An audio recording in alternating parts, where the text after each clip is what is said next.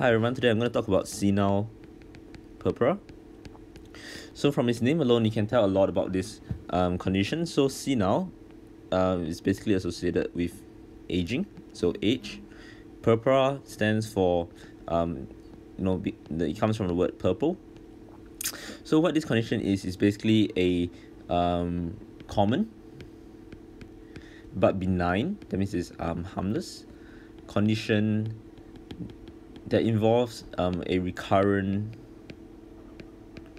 um, bleeding into the skin.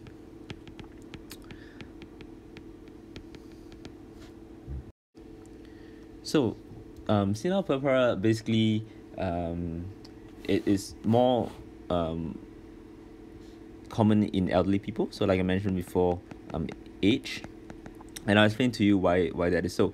So, um, as as we age, um, the skin tends to become thinner and is uh, relatively more inelastic. And the capillaries that is supplying the skin also becomes more fragile.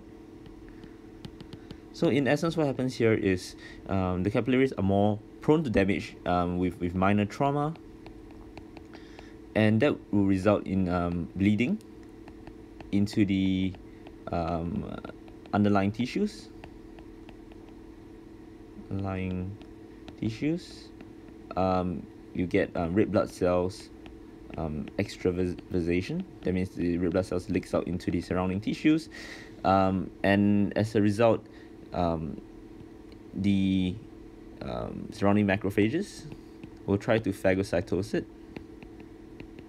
And and um, the bleeding also causes a deposition of um, pigments like hemosiderin, which gives it its brown um, color appearance um, in the skin as well. So just to recap, so basically in the capillaries, um, uh, it's more fragile and therefore it's more likely to become damaged and the leakage of red blood cells um, could occur and it could be phagocytosed by uh, macrophages as well. So um, it I'm just going to discuss a few things about its clinical features so you can identify it um, clinically and to rule out other um, potential um, forms of dermatological um, conditions as well. So as you can see here in this diagram, um, uh, that it is often on the extensor surfaces of the forearm,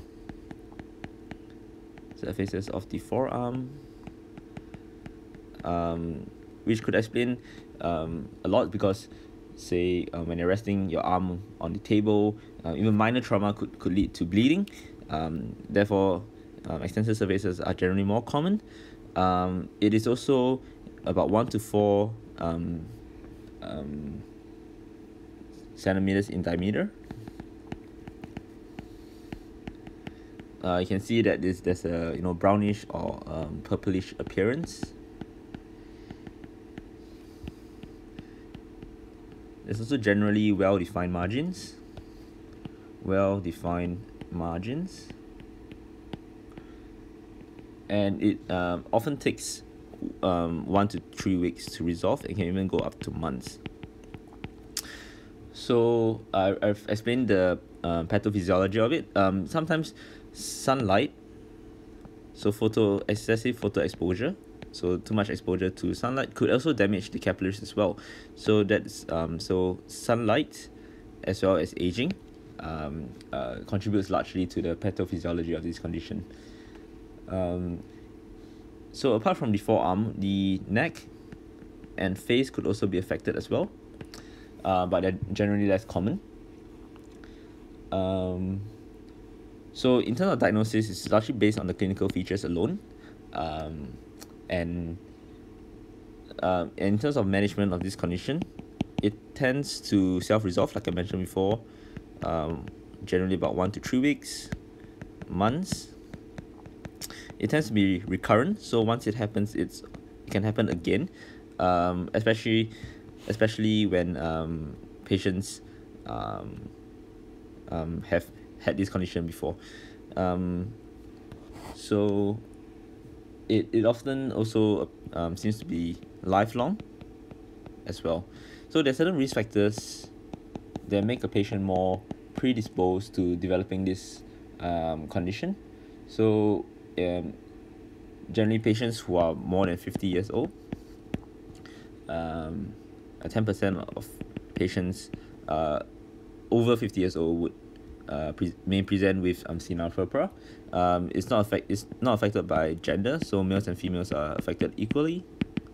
And also more common in patients who use um, steroids um, for, for a prolonged period, uh, anticoagulants as well, which could um, result in increased uh, predisposition predisposition to bleeding um, and that could explain the senile purpura. So in terms of management, like I said before, you know, it's, it's self-resolving, um, and it's also important to uh, use sun protection because, like I said before, the excessive sun exposure uh, contributes largely to um, damage of the capillaries as well.